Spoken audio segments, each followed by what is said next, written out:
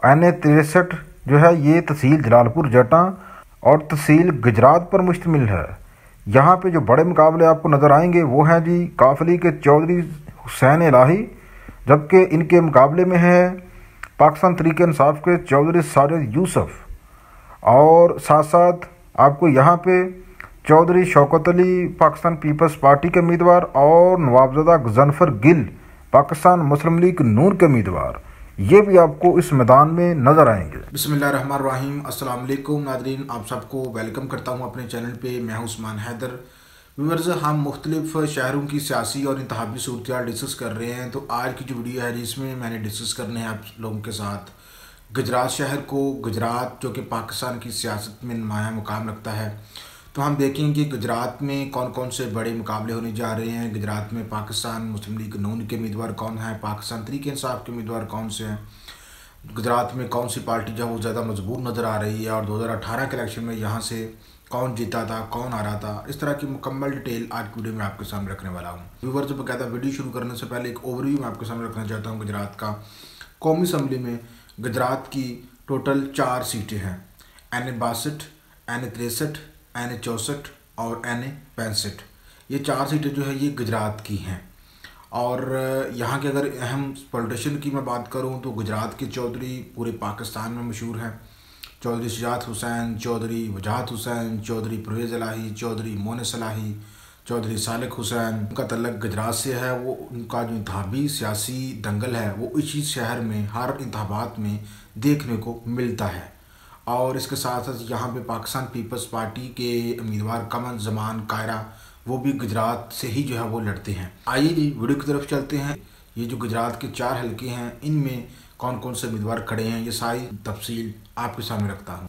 तो नादरन कराम शुरू करते हैं जी एन ए बासठ गुजरात से। ये हल्का जो है, ये गुजरात की तहसील सराय आलमगीर और खारियाँ पर मुश्तमिल है। और यहाँ पर जो है, आपको बड़े मुकाबले देखने को मिल सकते हैं। पाकिस्तान तरीके इंसाफ की तरफ़ से यहाँ पे चौधरी मोहम्मद अलियास को मैदान में उतारा गया है। वहीं पाकिस्तान मुस्लिम लीग नून की तरफ़ से, जो मुस्लिम लीग नून के मज़बूत उम्मीदवार चौधरी आबद रज़ा कोटला हैं, उनको मैदान में उतारा गया है। और पाकिस्तान मुस्लिम लीग काफ की तरफ़ से, चौधरी मूसा इलाही आपको मैदानी दौड़ में नज़र आएँगे। तो यहाँ पे जो असल मुकाबला है, वो पाकिस्तान तरीक इंसाफ के चौधरी मोहम्मद अलियास और पाकिस्तान मुस्लिम लीग नून के चौधरी आबद रज़ा कोटला के दरमियान है। और जो पी एम एल क्यू के उम्मीदवार हैं चौधरी मूसा इलाही, वो यहाँ पे कोई ज़्यादा वोट बैंक नहीं रखते। ज़्यादा जो मुकाबला है, यूँ कह लीजिए कि फिफ्टी फिफ्टी जो मुकाबला है, ये चौधरी आबद रज़ा कोटला और चौधरी मोहम्मद इलियास पीटीआई के उम्मीदवार के दरमियान है। और अगर बात की जाए 2018 की तो 2018 में यहाँ पे जो चौधरी आबद रज़ा कोटला हैं, उन्होंने ये सीट विन की थी, जबकि उनके मुकाबले में चौधरी मोहम्मद इलियास पीटीआई के थे। वो हार गए थे, दूसरे नंबर पे आए थे, और जबकि तीसरे नंबर पे यहाँ पे टीएलपी का वोट बैंक भी काफ़ी मकदार में है। और अगर मैं बात करूँ, जीतने वाले उम्मीदवार ने 2018 में, यानी कि नून लीग के आबद रज़ा कोटला ने 2018 में तकरीबन अट्ठासी हज़ार के करीब वोट हासिल किए। वही पीटीआई के और काफली के हमायत याफ्ता उम्मीदवार चौधरी मोहम्मद अलियास ने 2018 में तकरीबन बयासी हज़ार के करीब वोट हासिल किए। और यूँ आप कह लीजिए कि जो मुकाबला था, वो बहुत ही करीबी मुकाबला था पीएमएल, एन और पीटीआई के दरमियान 2018 में। और टीएलपी ने जो है तकरीबन तीस हज़ार के अराउंड बोर्ड वोट हासिल किए थे। तो आबद रज़ा कोटला जो है, इन्होंने ना सिर्फ़ 2018 का इलेक्शन जीता था नून लीग की तरफ़ से बल्कि 2013 का इलेक्शन भी आबद रज़ा ने अपने नाम किया था। तो यूँ आबद रज़ा कोटला मसलसल पिछले दो इलेक्शन जीतने में यहाँ से इस हल्के में कामयाब रहे हैं। यही वजह है कि नून लीग ने बगैर सोचे समझे चौधरी आबद रज़ा कोटला को 2024 के इलेक्शन के लिए भी टिकट दे दिया है। और चौधरी लियास जो हैं, वो भी मुकाबला करते हुए नज़र आएँगे इस दफ़ा मैदान में। और जो पी टी का वोट बैंक है, उसमें भी इस दफ़ा काफ़ी इजाफा हुआ है। अब आ जाए एन ए तिरसठ गुजरात की तरफ़। एन ए तिरसठ जो है, ये तहसील जलालपुर, जटा, और तहसील गुजरात पर मुश्तमिल है। यहाँ पे जो बड़े मुकाबले आपको नज़र आएँगे, वो हैं जी काफली के चौधरी हुसैन इलाही, जबकि इनके मुकाबले में है पाकिस्तान तरीके इंसाफ के चौधरी साजिद यूसुफ, और साथ साथ आपको यहाँ पे चौधरी शौकत अली, पाकिस्तान पीपल्स पार्टी के उम्मीदवार, और नवाबजदा गजनफर गिल, पाकिस्तान मुस्लिम लीग नून के उम्मीदवार। ये भी आपको इस मैदान में नज़र आएँगे। जो असल मुकाबला है यहाँ पे, वो है जी चौधरी साजिद यूसुफ, पाकिस्तान तरीके इंसाफ के और पाकिस्तान मुस्लिम लीग नून के नवाबजादा जनफर गिल के दरमियान। और अगर बात की जाए 2018 की तो 2018 में चौधरी हुसैन लाही पीएमएल-क्यू के उम्मीदवार जो है, वो यहाँ से जीत चुके हैं भारी अक्सरियत से। और उस वक़्त उनके मद्द मुकाबल थे नवाबजादा जनफर गिल, वो दूसरे नंबर पर आए थे। तो 2018 में चौधरी हुसैन लाही क्यों जीते थे? ये सवाल जहन में आता है, काफ लीग के। वो इसलिए जीते थे कि इनके मध्य मुकाबल जो थे, उस वक़्त सिर्फ़ नून लीग थी। पाकिस्तान तरीके इंसाफ जो है, वो चौधरी हुसैन लाही के मध्य मुकाबल नहीं थी। बल्कि पाकिस्तान तरीके इंसाफ जो है, वो पी एम एल क्यू की हमायत कर रही थी उस वक़्त, उनको सपोर्ट कर रही थी। और इनके दरमियान सीट एडजस्टमेंट थी। पाकिस्तान तरीके इंसाफ ने अपना उम्मीदवार नहीं खड़ा किया था चौधरी हुसैन लाही के मुकाबले में।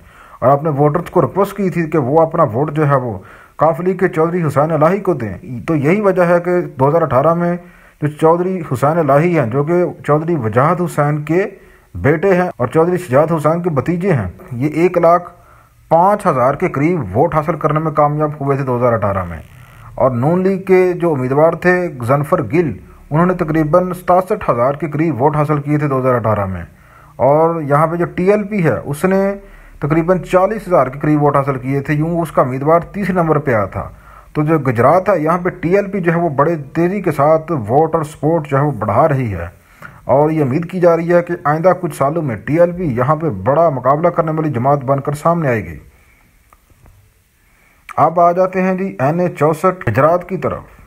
तो एन ए चौंसठ गुजरात जो है, ये तहसील कुंजा और गुजरात सिटी के कुछ इलाकों पर मुश्तमिल है।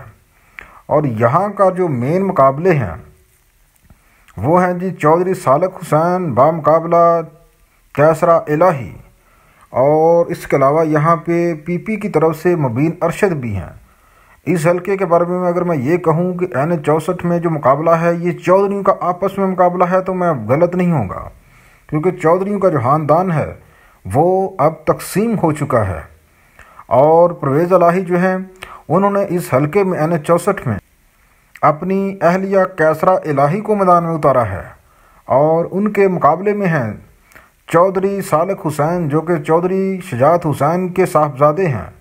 उनके दरमियान और कैसरा इलाही, चौधरी परवेज़ इलाही की अहलिया, इनके दरमियान बड़ा कांटेदार मुकाबला आपको देखने को मिल सकता है 2024 के इलेक्शन में। क्योंकि ये जब इमरान खान के साथ छोड़ा था, पीएमएल-क्यू ने तो चौधरी परवेज़ इलाही जो है वो डट गए थे। वो जेलें काट रहे हैं, लेकिन उन्होंने इमरान खान का साथ नहीं छोड़ा। उनको बड़ी ऑफरें की गई, सबकी तरफ़ से कि आप इमरान खान का साथ छोड़ दें तो आपको जो है रिलीफ मिल सकता है। लेकिन चौधरी परवेज़ अलाही जो है, वो डट गए। और फिर यहाँ पे जो रियासती मशीनरी है, उसने चौधरी परवेज़ अलाही के कागजात, नामजदगी जो है, वो मुस्तरद करवाए। आरोज ने तराजरगाह के कागजात मुस्तरद कर दिए। चौधरी परवेज़ अलाही फिर भी डटे रहे और इसको जो है, वो इलेक्शन ट्रिब्यूनल में ले गए। उसने भी मुस्तरद कर दिए। फिर ये मामला चला गया। आगे हाई कोर्ट उसने भी मुस्तर कर दिए फिर सुप्रीम कोर्ट ने जो है रिलीफ दिया चौधरी परवेज लाही को। लेकिन फिर परवेज लाही ने जो है वो यहाँ से नेशनल असम्बली के जो इलेक्शन है, वो लड़ने से जो है वो उन्होंने दस्तबरदारी का ऐलान किया, जबकि अपनी जगह उन्होंने अपनी अहलिया कैसरा इलाही को मैदान में उतारा। और अब जो है, जो चौधरीों का ख़ानदान इन दोनों का आपस में यहाँ पर मुकाबला है। जो कैसरा इलाही है ये पाकिस्तान तरीके इंसाफ की तरफ़ से हैं और चौधरी सालक हुसैन काफली की तरफ़ से। अगर बात की जाए 2018 की तो चौधरी परवेज़ अलाही का यह अपना ज़ाती हल्का समझा जाता है। चौधरी परवेज़ अलाही इस हल्के से 2018 में ही नहीं, बल्कि 2013 में भी जीत चुकी हैं। यूँ समझिए कि यहाँ पे चौधरी परवेज़ अलाही जो है वो काफ़ी मज़बूत हैं। तो इसलिए ये कहा जा सकता है कि चौधरी परवेज़ अलाही जो है, उनका अपना चौधरी का भी वोट बैंक है उनका। और फिर साथ साथ पाकिस्तान तरीके इंसाफ की वोट और सपोर्ट भी उनको हासिल है, क्योंकि पाकिस्तान तरीके इंसाफ की तरफ़ से वो लड़ रहे हैं, कैसा इलाही जो हैं। जबकि जो चौधरी सालिक हुसैन हैं, ये सबक वफाकी वज़ीर रहे हैं पीडीएम के दौर में। और नून लीग ने यहाँ पे चौधरी सालक हुसैन के मुकाबले में अपना उम्मीदवार खड़ा नहीं किया, क्योंकि नून लीग ने चौधरी के साथ सीट एडजस्टमेंट की है एन ए चौंसठ में। न्यू चौधरी सालक हुसैन को जो एडवांटेज हासिल होने वाला है, वो ये है कि जो नून लीग की वोटर सपोर्ट है वो चौधरी सालक हुसैन को मिलेगी, जिससे यहाँ पे मुकाबला जो है वो कुछ बड़ा दिखाई दे रहा है। जबकि जो परवेज लाही हैं, इन्होंने पीपी बत्तीस गुजरात से जो है वो लड़ने का फैसला किया है और परवेज लाही जो है वो सवाई असम्बली की सीट पे जो है वो फाइट में नज़र आएँगे। अब आ जाए जी, जो गुजरात का आरी हल्का है, एन ए पैंसठ। ये हल्का जो है, ये तहसील खारियाँ लाला मूसा, सिटी और डंका के इलाकों पर मुश्तमिल है। और यहाँ पर जो उम्मीदवार हैं, वो जी बड़े तगड़े उम्मीदवार हैं। जहाँ पे एक तो पाकिस्तान पीपल्स पार्टी के उम्मीदवार हैं कमर जमान कायरा। जबकि उनके मुकाबले में हैं पाकिस्तान तरीके इंसाफ के उम्मीदवार सैयद वजाहत शाह। और जो पाकिस्तान मुस्लिम लीग नून के उम्मीदवार हैं, वो हैं जी चौधरी नसीर अहमद सिद्धू। जो पाकिस्तान मुस्लिम लीग नून के उम्मीदवार हैं, चौधरी नसीर अहमद सिद्धू। इनके बारे में आपको बताता चलूँ कि ये जो पाकिस्तान के जो हादर सर्वस एयर चीफ्स हैं, उनके ये भाई हैं। और नून लीग ने अपने पुराने उम्मीदवार जो कि यहाँ से एन पैंसठ से नून लीग की तरफ़ से 2013 में जीते थे, जबकि 2018 में हार गए थे, चौधरी जाफ़र इकबाल।